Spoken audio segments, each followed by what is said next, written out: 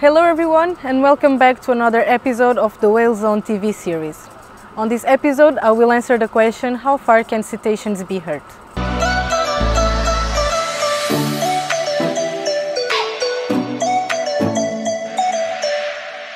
To explain better this question, I have to divide cetaceans between mysticetes and odontocetes as they have different ways of communicating. Mysticetes, they produce low frequency sounds on the range uh, of 7 to 200 hertz.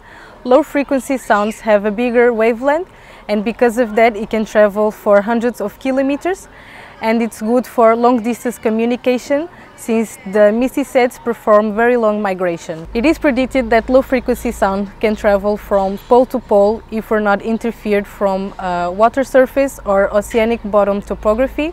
And for example, blue whales has been recorded uh, from over 500 miles away.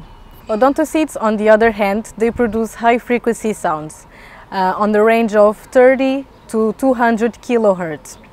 Uh, the high frequency sounds, the wavelength it's shorter, so it's good for uh, short distance communication as they don't travel as far as the low frequency. Taking the sperm whale as example, the sperm whale is the loudest animal on earth and it's been recording the sound of the clicks during the whole dive and they can dive close to 3000 meters uh, of course, with the hydrophone, that's what we can hear. Sperm whales, they can hear differently, so they can hear a little bit more than us. Besides vocal communication, whales and dolphins also have non-vocal communication and can, can be either breaches, lips, tail slapping, and these sounds produce um, a message under the water and it can be also a way of communicating with the other animals as well.